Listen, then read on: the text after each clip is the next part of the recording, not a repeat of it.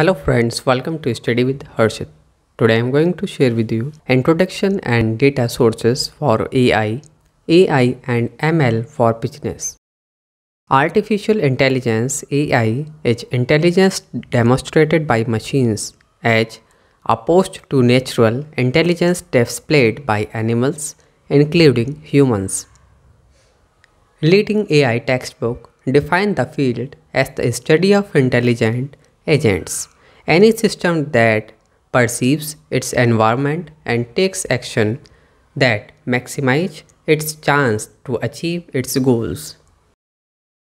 Some popular accounts use the term artificial intelligence to describe the machine that mimic cognitive function that human associate with the human mind such as learning and problem solving.